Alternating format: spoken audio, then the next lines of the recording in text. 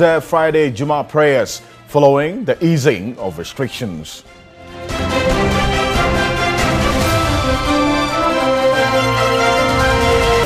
In business tonight, patronage of domestic flights increases from 136 passengers to 236 passengers in four trips in a day, a month after resumption of operations.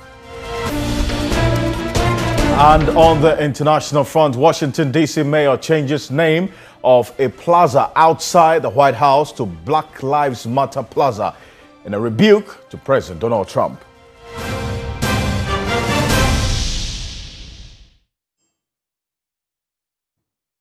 We're live on TV3 Ghana on Facebook, DSTV channel 279, all across the world on 3news.com.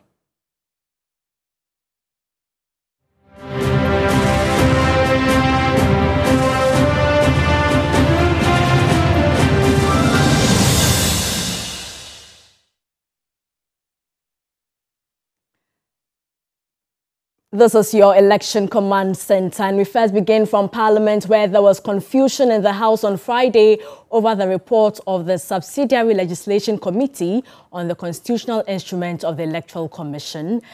The decision of the ranking member for the subsidiary legislation committee, Yaw Buaben Asamoa, to edit the final report of the committee on CI 126 today generated heated debate. I am bound by the chairman's current stance, which was not so an hour ago. Barely an hour ago, that was not the position. Barely an hour ago, the position was that he was meeting the exigencies of the House. We had spoken on the phone, and he was sending his final correction ahead by electronic means so that we could prepare for the motion to be taken in the House.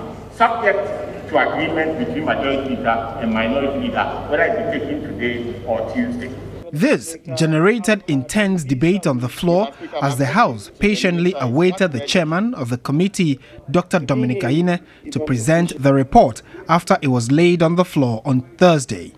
The Subsidiary Legislation Committee, one of the only two chaired by the minority, voted on partisan lines to approve the controversial CI. Chairman of the committee, Dr. Dominic Ayine, was emphatic. He handed the final report to his ranking member, Yaw Buaben Asamoa, to peruse before presenting it to the plenary. The Honorable Majority Leader says that what was done yesterday is a nullity. Mr. Speaker, it cannot be a nullity by reason of what he has said.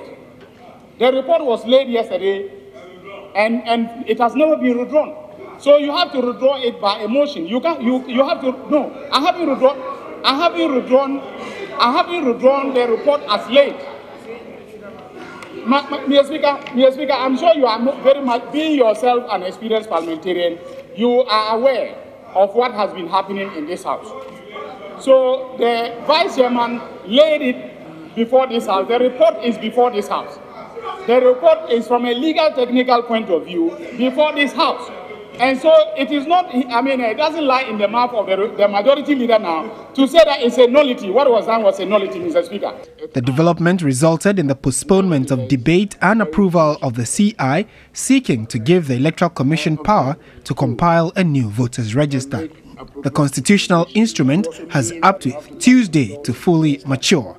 Both the chairman and ranking were at each other's throat. The development generated heated exchanges which brought in the majority and minority leadership. There have not been any time where ranking determines how a committee formula will be. To the extent that you can take the chairman's report and change even its format. You only state your comment and then the chairman will look at it. If it's not controversial, he introduces it. If it's controversial, he calls the whole committee for them to agree. So, Mr. Speaker, I just want to state that our habit of every now and then want to stand down orders, our standing orders make sure that when business are late, we have 48 hours for it to mature. It is to enable all other things to be done before. But when they are very urgent, then we will then say, let's shorten the period.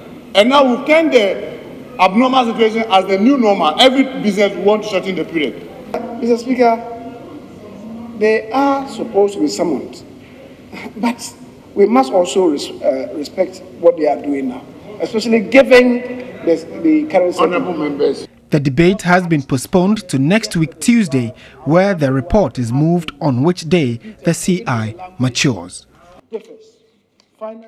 Well, some NPP delegates in the Offinso South constituency have threatened mayhem in the upcoming parliamentary primaries should the party leadership allow one person to go unopposed. The delegates say they are ready to support any of the aspirants who emerges victorious, but will resist any attempt to impose a parliamentary candidate on them. Here's a report by Ibrahim Abubakar.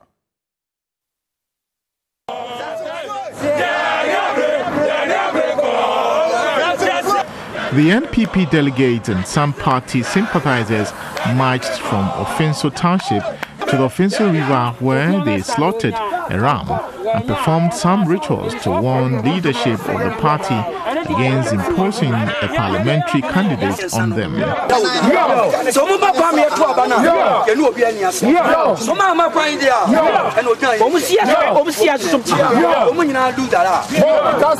The aggrieved group were up in arms against an alleged decision by a section of the party's leadership to allow the incumbent MP, Ben Abdallah, go unopposed in the upcoming parliamentary primaries. According to the group, the new Patriotic Party's democratic tenet should be upheld in ensuring qualified parliamentary aspirants contest the polls. All that we want from them is peace.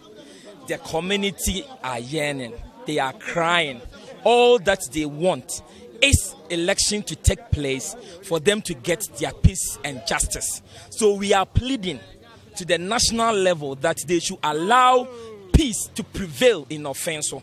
The group wants the president to intervene to prevent any disturbance within the Nhyaiso constituency.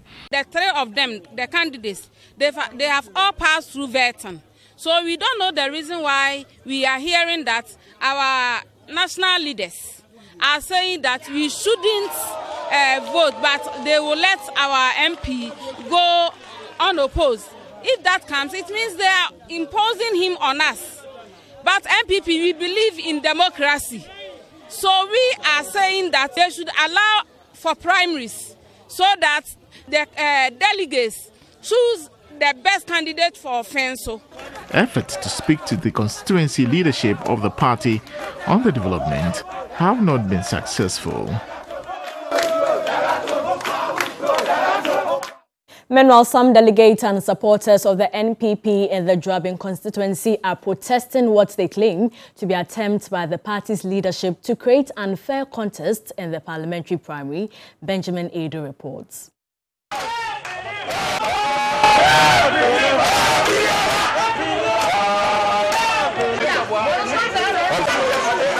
Three persons picked nomination forms and filed to contest the Juaben NPP primaries scheduled for June 20.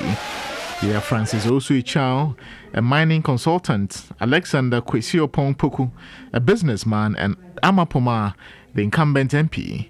But few days to the primary, some delegates claim the leadership of the party is scheming for the MP to contest unopposed.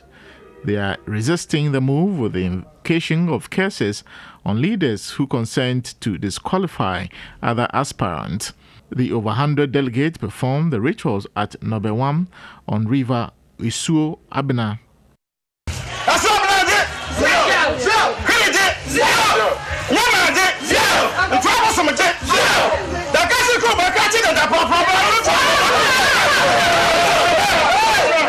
So asantemaa mu na deɛ ɔbɛgye sika yɛn mfiri ne papa soɔ ɔkɔ a ɔfa ne ma naase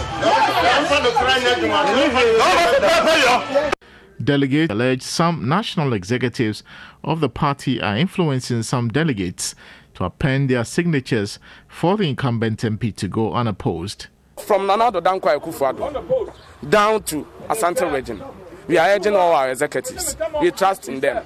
So they should do what will help with the constituency executives so that we will be okay. We only need elections. And we know that our honorable MP, Honorable Amapama, doesn't fear competition.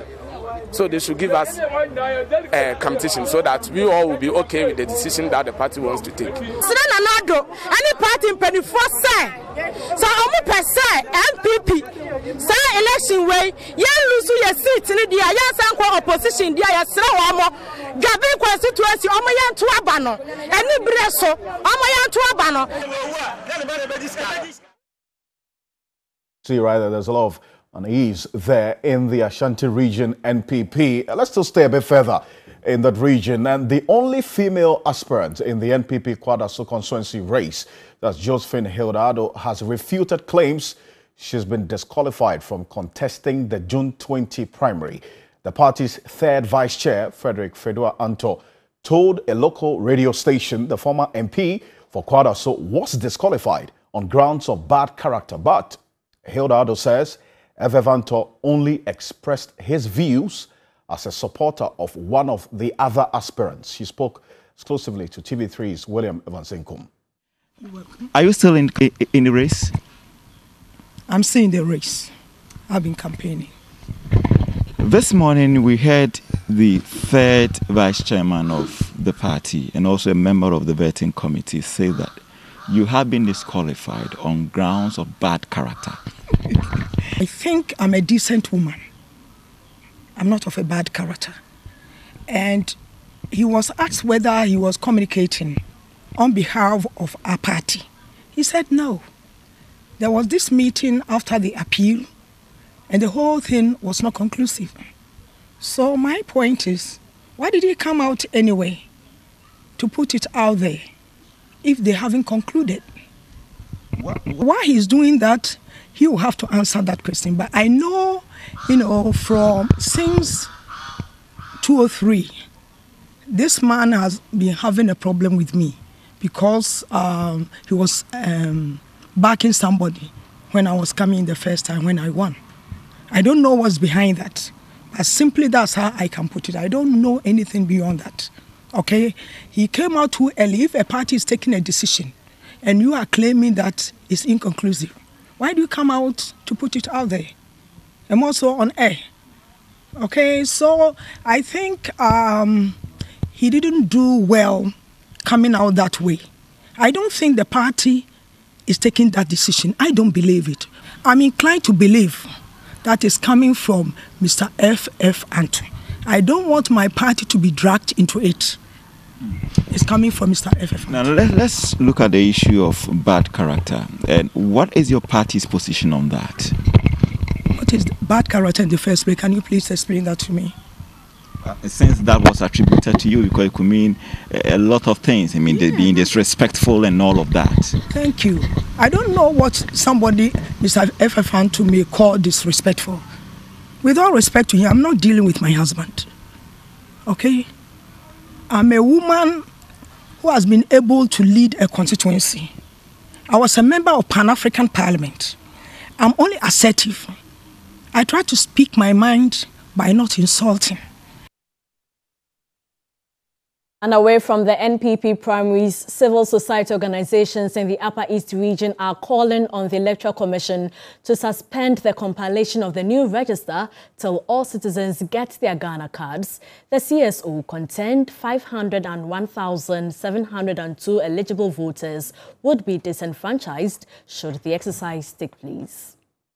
The spokesperson for the CSOs, Bismarck Ayorogu, made this known at a news conference in Bolgatanga. In the Upper East region, a total of 220,000 people were registered for the Ghana card, of which only 13,200, representing just 6%, had their cards issued to them. You can just imagine the frustration and stressful conditions under which the 220,000 of us went through to register for the card, just for a small percentage of only 6% issued with the card so far. He said not all potential voters have Ghana cards or passports. Bismarck Ayorogu called on the EC to suspend the exercise until all eligible voters get Ghana cards or passports. We strongly urge the EC, who is managing the electoral affairs of this country under the governance of a listening government, to demonstrate more responsiveness and accountability to the Ghanaian people by giving a listening ear to our concerns.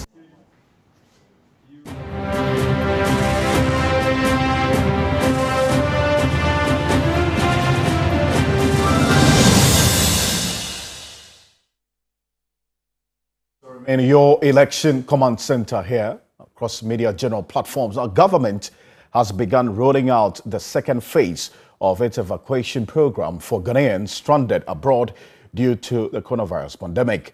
Foreign Affairs Ministry has arranged chartered flights to bring back Ghanaians based on a schedule drawn by the ministry. Responding to questions in Parliament, the minister indicated that a lot of considerations have gone into government's evacuation program. To ensure a well-coordinated evacuation exercise, government decided to undertake the exercise in phases. This decision was informed by financial and logistical considerations namely the capacity of our isolation centers to hold large numbers of evacuees, as well as the human resource capacity of the National COVID 19 Task Force. The countries captured in the schedule include Nigeria, Mauritania, Ethiopia, China, United States of America, the United Kingdom, the United Arab Emirates, amongst others. The minister also said negotiations are currently underway between our Beijing mission and Ethiopian Airlines for the evacuation of staff 675 stranded Ghanaians in China. Similarly, our mission in Abu Dhabi and consulate in Dubai have initiated discussions with the UAE authorities for the evacuation of over 500 of our nationals who are stranded in that country. Ghanaian nationals who are stranded outside the country and willing to bear the cost of their evacuation were earlier asked to submit their details to their Ghana High Commissions by close of Wednesday, May 13, 2020. Let's go to the Ashanti region where some Muslims in Kumasi today observed the Juma prayers for the first time in 12 weeks. Leadership of Muslim communities took steps to ensure all outlined safety guidelines were duly observed to prevent the spread of COVID-19. A report by Ibrahim Abubakar. The COVID 19 pandemic compelled governments to place a ban on social and religious gatherings as part of measures to contain the spread of the virus. After 12 weeks, government has lifted the ban, but with some limitations. Mosques and churches have been asked to ensure they meet all safety guidelines before opening for congregants. At the Kumasi Central Mosque on Friday, there was a high level of compliance for the safety protocols. Veronica buckets and hand sanitizers were placed at the entrance of the mosque. Worshippers had their temperature and contact details taken. Congregants were numbered to ensure they did not exceed 100.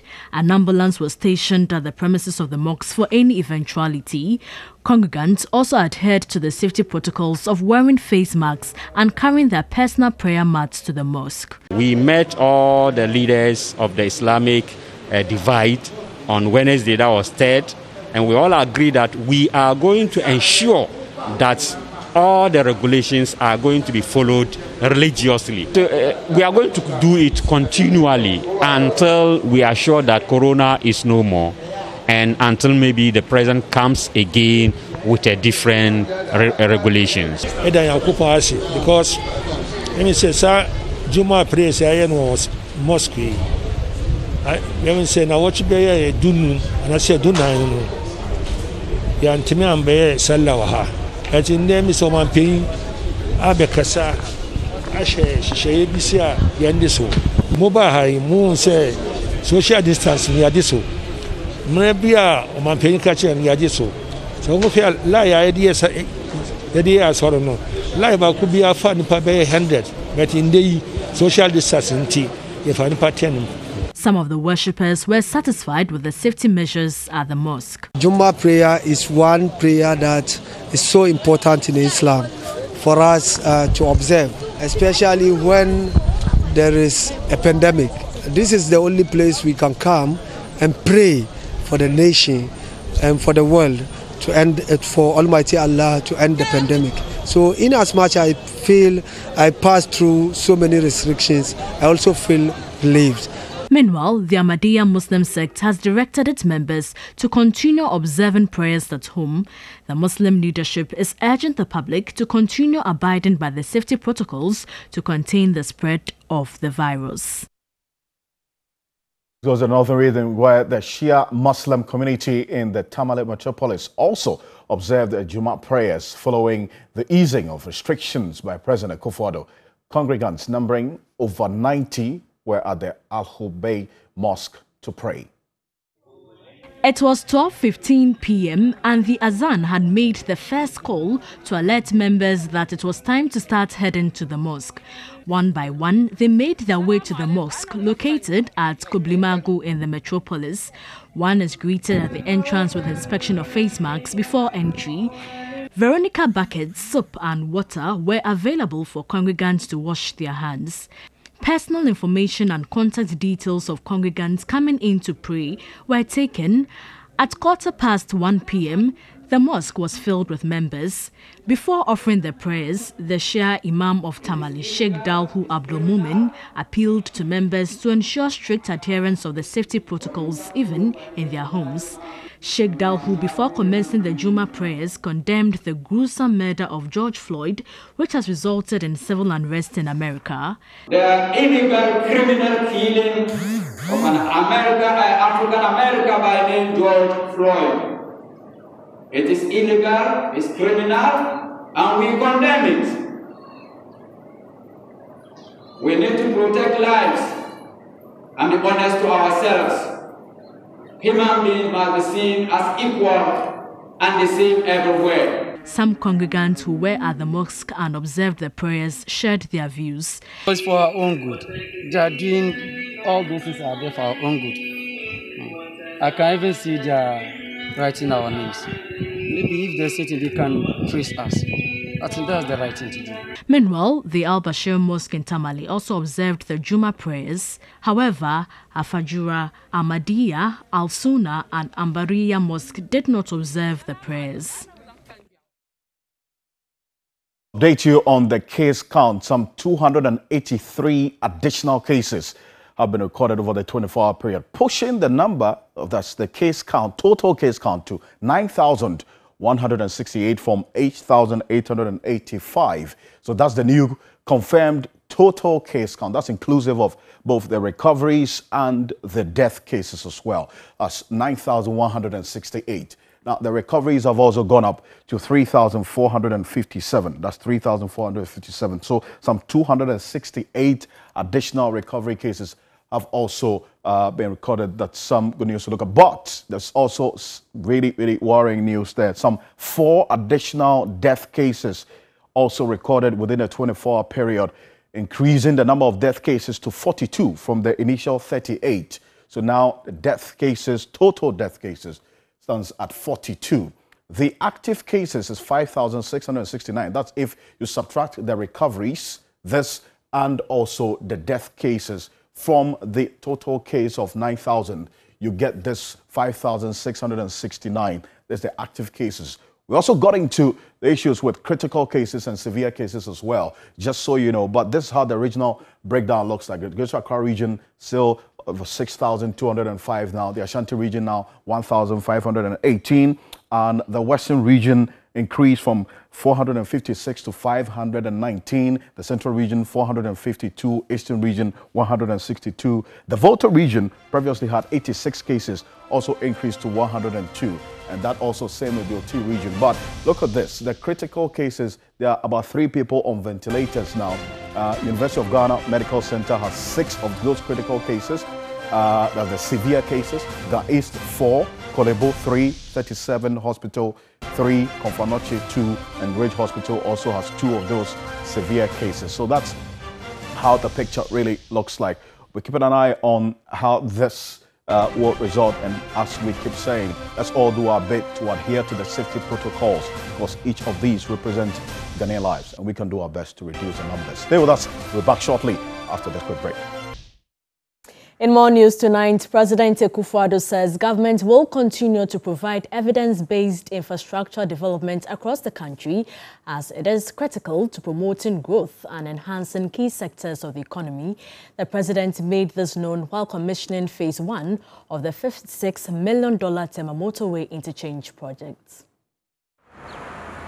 The newly constructed Tema Motorway Interchange is a five-legged roundabout serving the residents of the Tema main port of the country, the Volta, Eastern, North, and Upper East regions, as well as neighbors in Burkina Faso and the entire Abidjan Lagos corridor. The 56 million US dollar Japanese government grant project is part of the Ghana International Corridors project. And God willing, the second phase, which will complete this project to make it one composite project, will begin in the fourth quarter before the close of this year. This will be the final phase of the transformation of the two-tier interchange, which we are commissioning today, into a three-tier interchange. This will involve the construction of another tier on the north-south direction to lift the Tema Akosombo N2 traffic on a dual carriage over the current at-grade intersection. President Akufo-Addo said government will continue to provide evidence-based infrastructure to enhance growth and economic development. We made a pledge to the Ghanaian people to expand and improve the road network while closing the missing links in the network. We had to make this pledge because we know that the so-called unprecedented infrastructure development of the Mahama administration was fantasy, existing in the Green Book and not on the ground. We know that the provision of quality road infrastructure is an important tool for the socio-economic development of our country, and government will ensure the even spread of such projects across the country. The president charged the citizenry to use the facility responsibly. We as Ghanaians need to be mindful of our responsibilities in the use of our roads. Although the necessary safeguards have been put in place, the severity and frequency of accidents on our highways due to overspeeding and indiscipline are a great reproach to all of us. Motorists must be extra careful and disciplined on the highways and resist the temptation of overspeeding. Measures CTI Engineers International Company Limited, supervising consultant, and Measures Shimizu Dai Nippon JV executed the project. Business News is up next. Business News segment is brought to you by MTN 4G Plus, Universal Merchant Bank.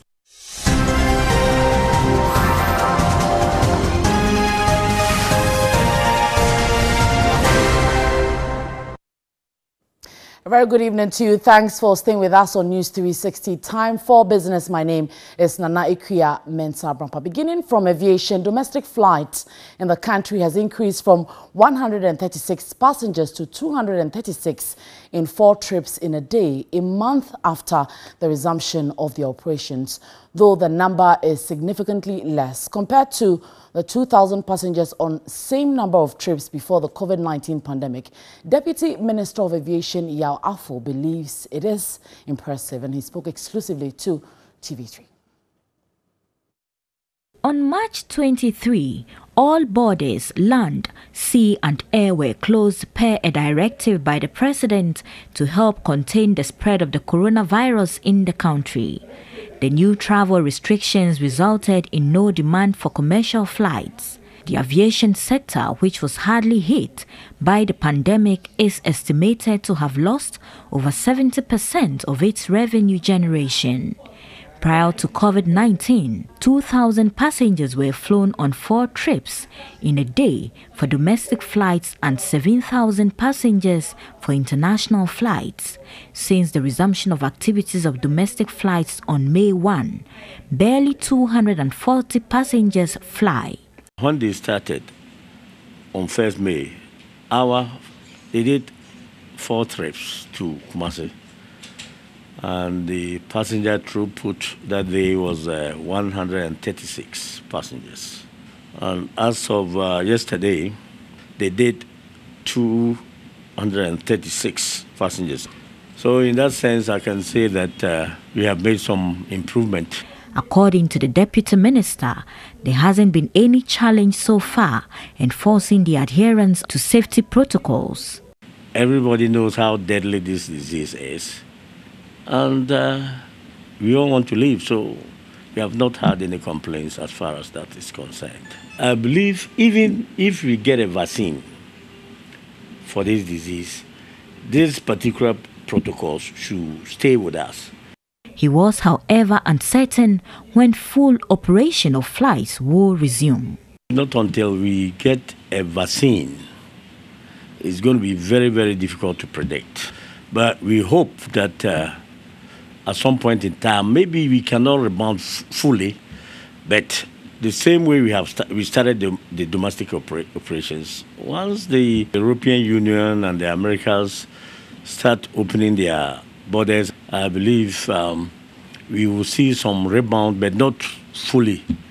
The downward economic projections put most jobs at significant risk, including workers in the aviation industry but the deputy minister guaranteed there will be no job losses. Over here, not a single person has lost his or her job because the president has directed that he doesn't want to see anybody lose his or her job. So we are making sure that not a single soul loses his or her job. All right, let's move away from aviation now. And the Director of Business Operations at Dalex Finance and Leasing Company, Joe Jackson, has observed it will take between one to three years for business activities in Ghana to bounce back to pre-COVID levels. He attributed this to a declined demand and called on industry to look at creating demand locally to speed up the recovery process. Economic activity is not like a tap where you can just turn it on and turn it off there's definitely a lag. That effect will take some time to restore. In all this, people have safety concerns. Currently, what is happening, we are not sure of the future because you can't do any um, projections. You could see that their capitals has bent. They don't really have any money to um, resuscitate themselves now. Director of Business Operations at Dalex Finance, Joe Jackson, noted the slowdown in the country's export and imports is a challenge to overcome.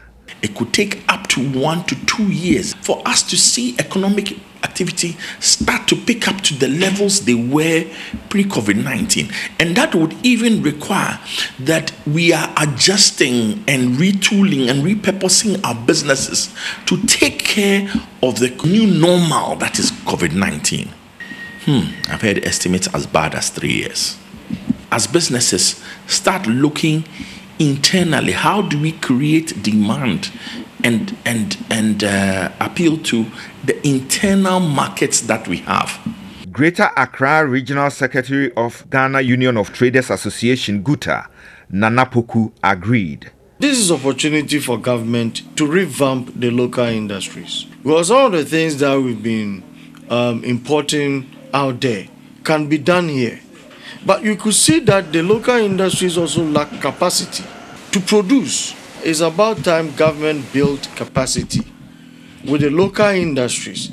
It shouldn't be like mouth talk. But what are the implications of a slow pace and long period towards recovery? Government revenues are no, going to be nowhere near they were before. Allow the government to borrow. Let's throw away the budget and the fiscal constraints. Each company look within itself and say, how do I repurpose my business? How do I retool my business? How do I maybe even change my business model? And producers of Cowbell, Ghana's leading powdered milk, have commissioned a community borehole facility for residents at Domiabra in the Brim North District of the Eastern Region. 20 of such projects would be constructed in selected communities across the country. Residents of Domiabra in the Brim North District are predominantly farmers. Previously, the over 400 residents of the area resorted to using untreated water from a stream in their community or harvested rainwater. But the situation has changed. Promasidor, producers of Cowbell, Ghana's leading powdered milk brand, has provided a community borehole for them. We are grateful to Cowbell for providing water for the community. And then three days, nsuo tɔɔyɛ na ayɛ saa nti bere bia nsuo bɛtɔ no Anytime it rains, water from the stream gets polluted. They have to trek several kilometers to get water. This situation makes children late to school.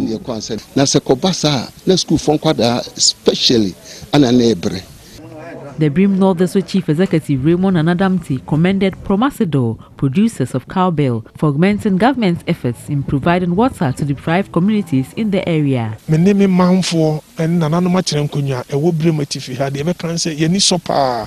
Ɔmo yɛ project no mmienu ɛwɔ me district yi mu. Wei na ayɛ ready the chiefs and people of Domiabra are grateful to Promasidor, producers of cowbell, for this initiative. We really appreciate their efforts. They are also embarking on a number of projects in the area. The commercial director of Promasidor Ghana Limited said the company aims at providing good nutrition for its consumers, hence the provision of water to deprived communities to reduce waterborne diseases as well as help fight COVID-19. The main objectives of this project is first of all to ensure the access to water clean, safe drinking water, and also to reduce the impact of unavailability of water uh, on uh, children uh, education. He explained the projects also marks World Milk Day and the 20th anniversary celebration of the Cowbell brand in the country. And throughout the week, the cedi has depreciated marginally against its major trading currencies. Today, on the interbank market, it depreciated against the pound and the euro and was unchanged to the dollar. You can visit 3news.com and get all the figures there. That's it for business. My name is Nanekia Mensah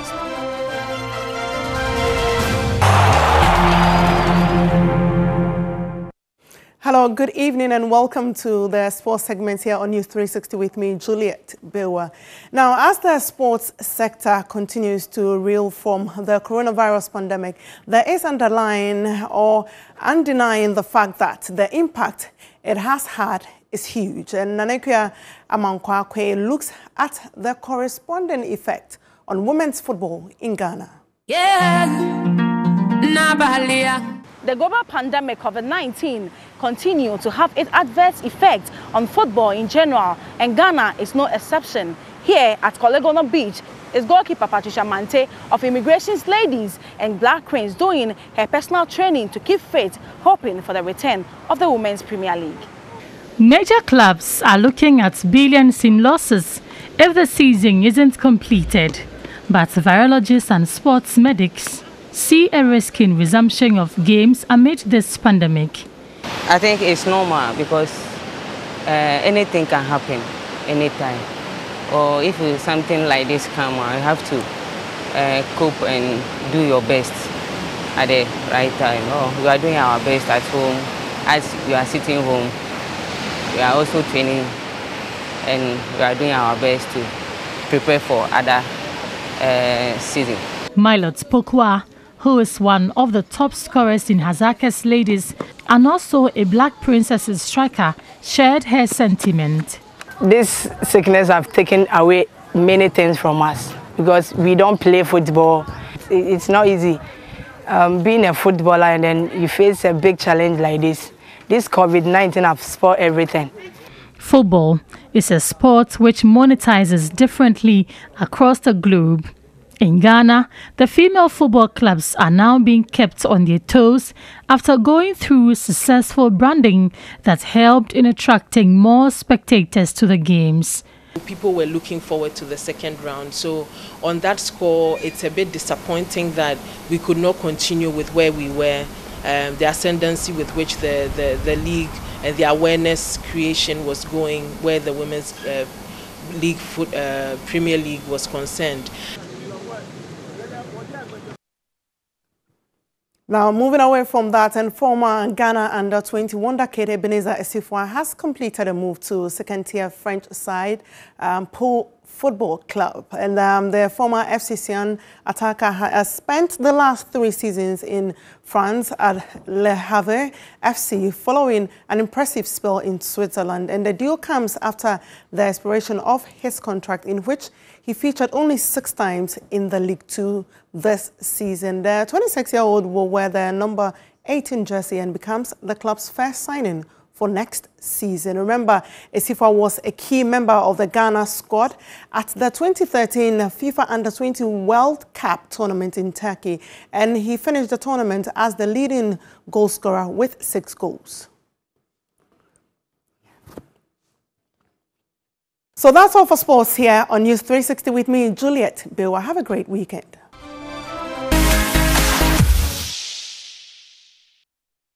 On entertainment, the music industry has been severely impacted by COVID-19, with many concert tours, music festivals and other events cancelled or postponed. Della Michelle puts the spotlight on the Jazz Kings Band, which has been bearing the brunt of the pandemic.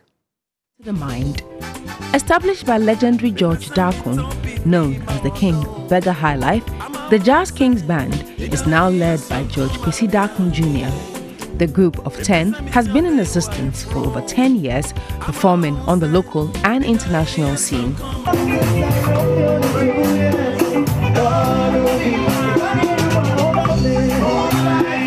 But it's been almost three months now since the Jazz Kings Band graced any platform to treat their clients to good music. Their last performance was cut abruptly when President Akufo-Addo announced a lockdown in the country due to the outbreak of the coronavirus.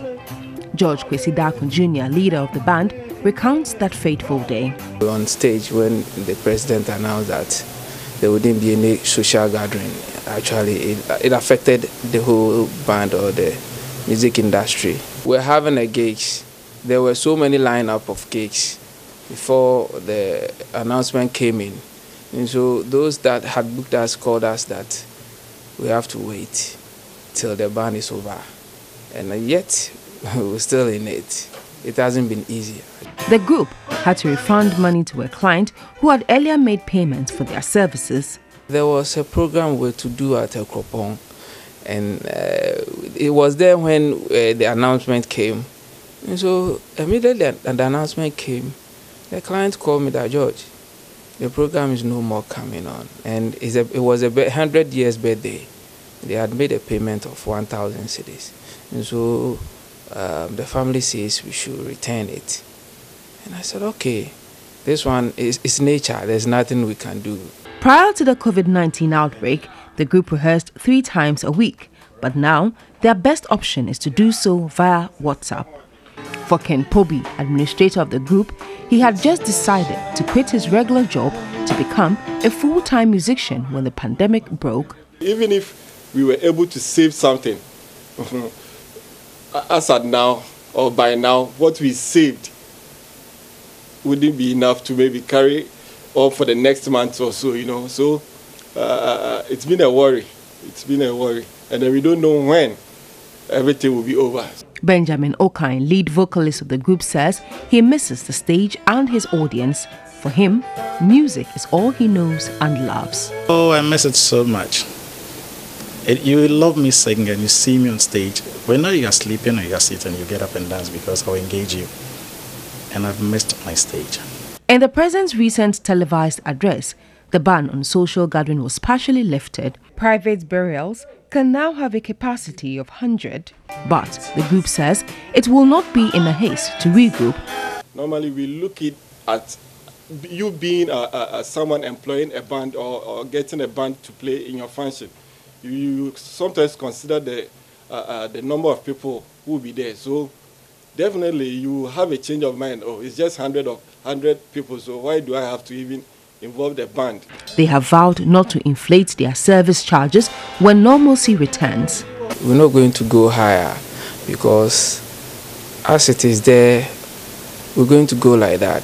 When I say that, I mean that um, if it's about, let's say, 100 people, and we should go by what will suit the client because now there's nothing to go by. Till then, they will keep hope alive and prepare for a comeback. Well, that's it for the news this evening. I want to say thank you so much for staying with us throughout the week. It's going to be a great weekend. Watch out. On behalf of the rest of the team, thank you as always for staying with us. I am Alfred Ocansey. And I am Portia Gabor. Enjoy the rest of our programs. Good evening.